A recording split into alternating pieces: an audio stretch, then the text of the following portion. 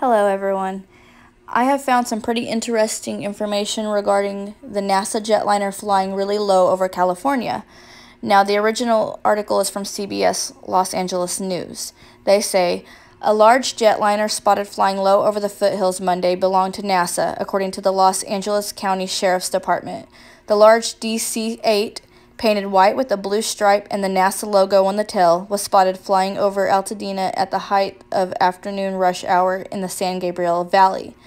Now, CBS 2 and CBS News Los Angeles anchorwoman Jasmine said she was one of the commuters who saw the plane flying by. It was scary a little bit. You didn't know if it was going to land, she said.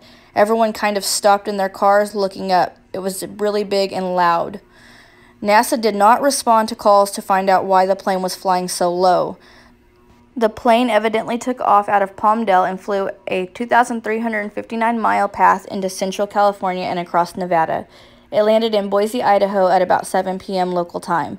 The plane's call sign is NASA 817 and can be monitored via flightaware.com. Now, I pulled up the NASA's Armstrong fact sheet on the DC 8 jetliner. It is an airborne science laboratory. The DC 8 can carry 30,000 pounds of scientific instruments and equipment and can seat up to 45 experimenters and flight crew. I then found a tweet from around the same time by the NASA Goddard Space Flight Center, which is a major NASA space research laboratory located approximately 6.5 miles northeast of Washington, D.C. They posted, What's in the Smoke, while showing California, Oregon, and Nevada with the NASA DC 8 aircraft that was flying over volcanoes near Ridgecrest and Coso Volcanic Field, also not far from the Garlock Fault, which the news stations has this headline Ridgecrest aftershocks edging towards second biggest fault in California. And the other article says aftershocks around Ridgecrest appear to be headed for Garlock Fault, could cause magnitude 8 quake. Anyways, I did further research on the DC 8 and managed to dig this up from 1997 straight off of NASA's site. Now listen carefully. NASA sensors provide safe platform for volcano studies. NASA scientists are developing and using a variety of airborne and spaceborne remote sensing tools to study potentially dangerous volcanoes that could one day threaten populated areas in the United States and around the world.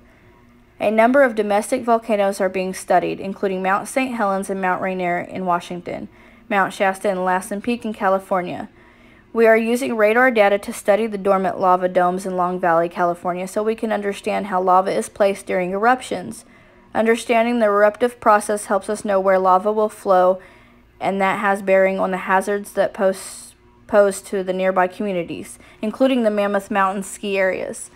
By combining the radar data with information from scanning laser altimeters, we are now tracking changes at the summits of Mount St. Helens and Mount Rainier that will document the impact of erosion, climate, and other factors on the topography and stability of large volcanoes, said Dr. James B. Garvin, chief scientist for the Shuttle Laser Altimeter at NASA's Goddard Space Flight Center, GSFC. These laser altimeters also have successfully measured the flank topography of volcanoes beneath their tree canopies. This is important because many of the most dangerous volcanoes are heavily vegetated, and their local relief must be known to accurately predict the path of their flows. In recent months, AIRSAR, ACE, and TIMS were part of a cadre of scientific instruments on board a NASA DC 8 aircraft that captured images of the Manam volcano within hours of an eruption on an island off the north coast of Papua New Guinea. Now, it says the airborne instruments help us map the topography from a safe distance. The data over Manam were collected as a target of opportunity, and the top topographic or topographic, sorry if I pronounced these words wrong, um, data set will serve as a valuable baseline for studies about future changes to the volcano, said Ellen, the AIRSAR science, it's A-I-R-S-A-R, so AIRSAR science coordinator at JPL. Now, we use the thermal infrared data to study volcanoes in three ways, she says. The first is to map ground temperatures, which we can relate to geothermal phenomena. The second is to map variations in the composition of lava flows, and the third is to map the sulfur dioxide in volcanic plumes. Now, TIMS data are useful for studying volcanic or volcanoes because thermal infrared remote sensing is the only practical means of obtaining virtually instantaneous maps of dynamic phenomena such as the distributions of temperatures on the ground or sulfur dioxide in a plume. Such data are of great use in monitoring volcanoes, where changes in ground temperatures or sulfur dioxide emissions can signal impending activity. JPL's Digital Image Animation Laboratory, DIAL, turns the scientific data into three dimensional video animations and other images. These visualizations can range from the simple, such as the use of color to combine data sets, to the complex, such as simulated flights through the data.